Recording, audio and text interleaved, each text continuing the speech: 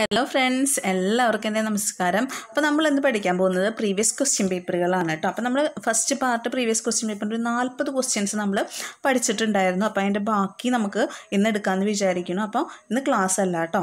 Okay അപ്പോൾ നമുക്ക് previous question papers ബാക്കി കുറച്ച് ക്വസ്റ്റ്യൻസ് നമുക്ക് നോക്കാം. അപ്പോൾ കോർ സബ്ജക്റ്റ് ആണ് നമുക്ക് മലയാളത്തിലാണ് വരുന്നത് കേട്ടോ അപ്പോൾ അതിൽ അറുപതാമത്തെ ക്വസ്റ്റ്യൻസ് ആണ്. രക്തം കട്ടപിടിക്കുന്നതിന് ആവശ്യമായ വിറ്റാമിൻ രക്തം കട്ടപിടിക്കുന്നതിന് ആവശ്യമായ വിറ്റാമിൻ ഏതാണ്? വിറ്റാമിൻ എ ഉണ്ട് വിറ്റാമിൻ സി ഉണ്ട് വിറ്റാമിൻ ഡി ഉണ്ട് വിറ്റാമിൻ കെ ഉണ്ട്. ഏതാണ്? വിറ്റാമിൻ കെ ആണ് കറക്റ്റ് ആൻസർ കേട്ടോ അപ്പോൾ വിറ്റാമിൻ കെ എന്ന് പറഞ്ഞു രക്തം കട്ടപിടിക്കുന്നതിന് സഹായിക്കുന്ന വിറ്റാമിൻ ആണ് മാത്രമല്ല നമ്മുടെ കരളിന്റെ പ്രവർത്തനത്തിന് ആവശ്യമായ വൈറ്റമിനാണ് കരളിൽ സംഭരിച്ചു വയ്ക്കുന്ന വൈറ്റമിൻ ഏതാണ്?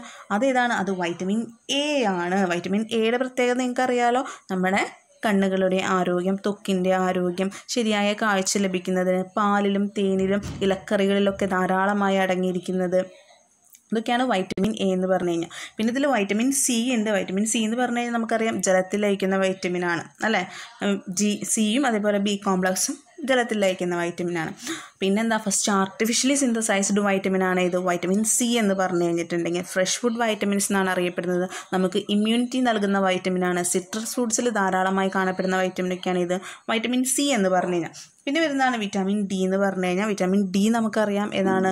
നമ്മുടെ റിക്കറ്റ്സ് ആന്റി റിക്കറ്റീവ് വൈറ്റമിൻസ് അതേപോലെ സൺഷൈൻ വൈറ്റമിൻ സൂര്യപ്രകാശത്തിൽ നിന്ന് ലഭിക്കുന്ന വൈറ്റമിനാണ് സസ്യ ഉറവിടങ്ങളിൽ നിന്നും നമുക്ക് ലഭിക്കാത്ത വൈറ്റമിൻ കൂടിയാണ് കേട്ടോ അപ്പോൾ നമുക്ക് വൈറ്റമിൻസ് വഴിയേ എടുക്കാം. അപ്പോൾ നിങ്ങൾക്ക് അത് ഡീറ്റെയിൽ ആയിട്ട് പറഞ്ഞു തരാം കേട്ടോ ഞാൻ ഓക്കെ ഇനി അടുത്തതാണ് അടുത്ത ക്വസ്റ്റ്യനാണ് സസ്യങ്ങൾ ഫല സസ്യങ്ങളിൽ ഫലങ്ങൾ പഴുക്കുന്നതിന് സഹായിക്കുന്ന ഹോർമോണുകളാണ്. അതായത് പഴങ്ങൾ പഴുക്കാൻ സഹായിക്കുന്ന ഹോർമോൺ ഏതാണെന്നാണ് ചോദിച്ചിട്ടുള്ളത്. ഏതാണ്?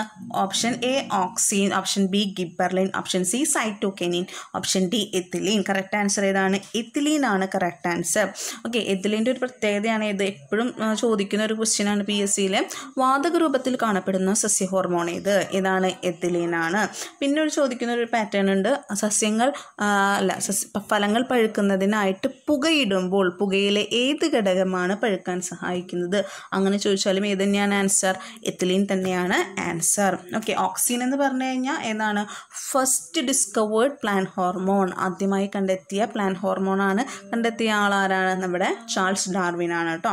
ഇനി സൈറ്റോകാൻസ് എന്ന് പറഞ്ഞു കഴിഞ്ഞിട്ടുണ്ടെങ്കിൽ എന്താ? തേങ്ങ വെള്ളത്തിൽ ധാരാളമായി കാണപ്പെടുന്നു.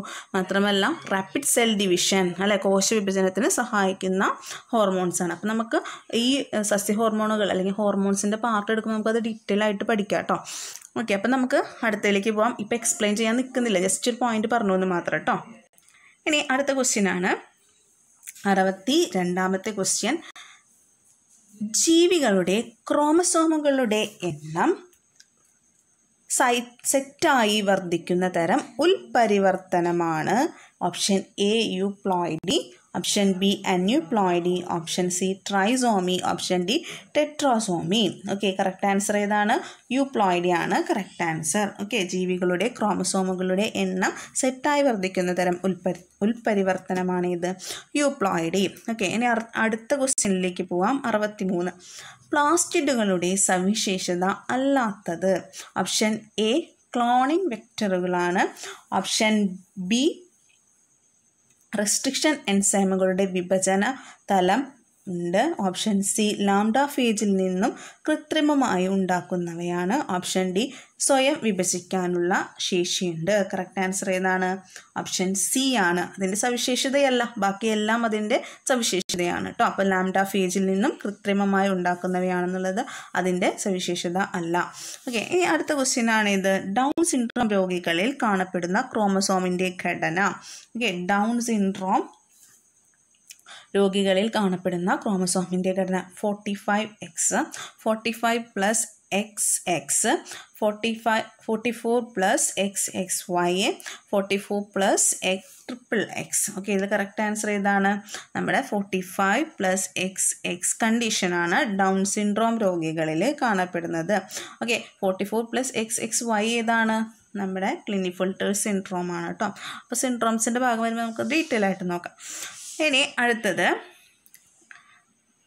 അറുപത്തി അഞ്ച് സി ഫോർ സസ്യങ്ങളുടെ പ്രത്യേകതയാണ്. അറുപത്തഞ്ചാമത്തെ ക്വസ്റ്റ്യൻ ഉഷ്ണമേഖലയിലെ സസ്യങ്ങളുടെ അനുകൂലനം പ്രകാശ സംശ്ലേഷണ വൃന്ദാവൃദ്ധി കോശങ്ങളിൽ നടക്കുന്നു. കാൽവിൻ ചക്രം ആരംഭിക്കുന്നത് ഓക്സലോ അസറ്റിക് ആസിഡിൽ നിന്നാണ്.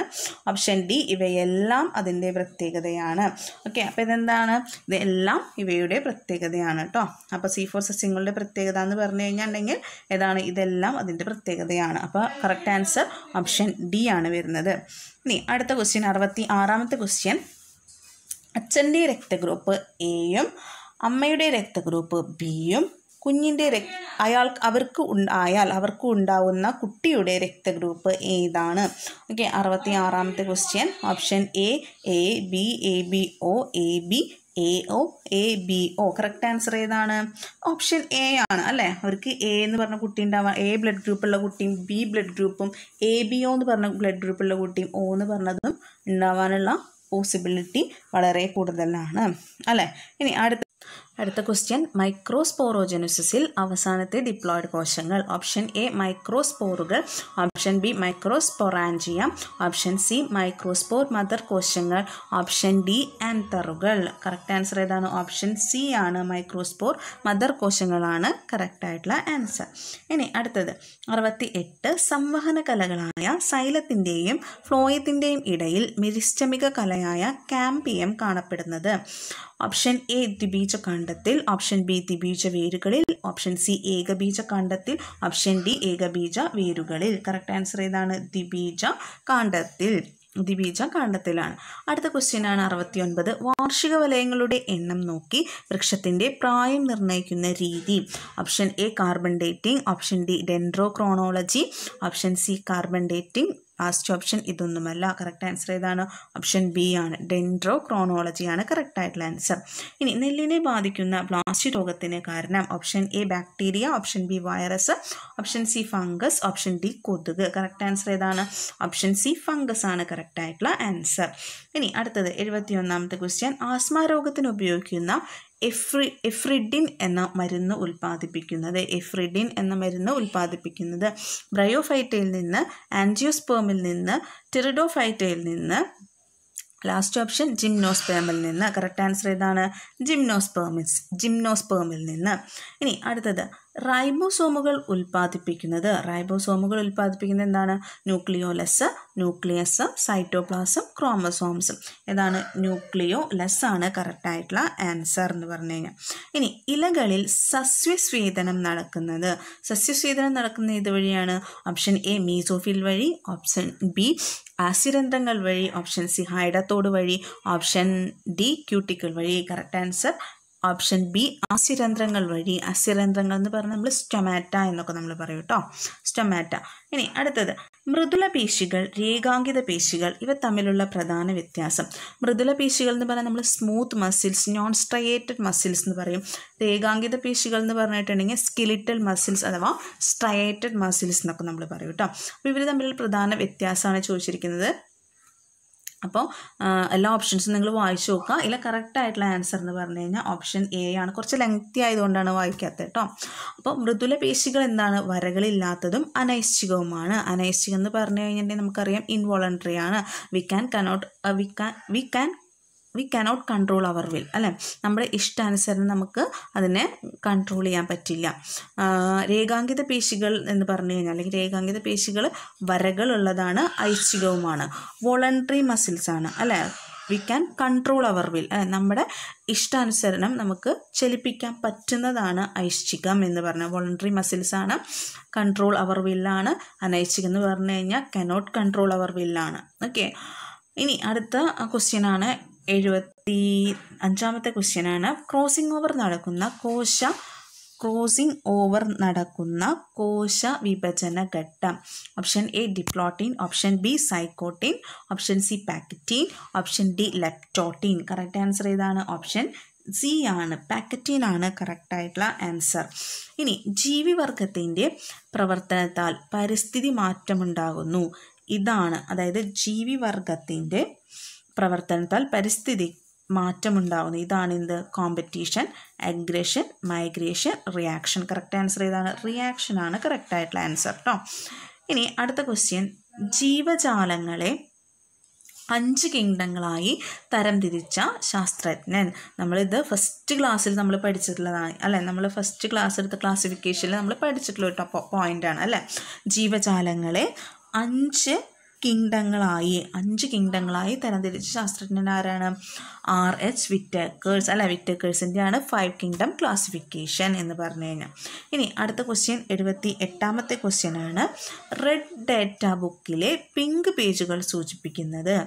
ഓപ്ഷൻ എ ഗുരുതരമായ വംശ വംശനാശ ഭീഷണി ഭീഷണിയുള്ള ജീവിവർഗം. ഓപ്ഷൻ ബി വംശനാശ ഭീഷണി അതിജീവിച്ചത്. ഓപ്ഷൻ സി വംശനാശ ഭീഷണി നേരിടുന്നത്. ഓപ്ഷൻ ഡി ഇവയെല്ലാം അപ്പോൾ കറക്റ്റ് ആൻസർ ഏതാണ്? ഓപ്ഷൻ എ ആണ് കറക്റ്റ് ആൻസർ ഗുരുതരമായ വംശനാശ ഭീഷണിയുള്ള ജീവിവർഗമാണ് ഓക്കെ അപ്പം നമ്മളിന്ന് ഒരു എഴുപത്തെട്ട് ക്വസ്റ്റ്യൻ അതായത് ഒരു പത്ത് പതിനഞ്ച് ക്വസ്റ്റ്യൻസുകളാണ് നമ്മൾ ഇന്ന് ഡിസ്കസ് ചെയ്തിട്ടുള്ളത്. നമുക്ക് ബാക്കി അടുത്ത ക്ലാസ്സിൽ നമുക്ക് കാണാം. ഓക്കെ ആവുന്നുണ്ടെങ്കിൽ ലൈക്ക് ചെയ്യാം ഷെയർ ചെയ്യാം സബ്സ്ക്രൈബ് ചെയ്യാം സപ്പോർട്ട് ചെയ്യാം കേട്ടോ ഓക്കെ താങ്ക്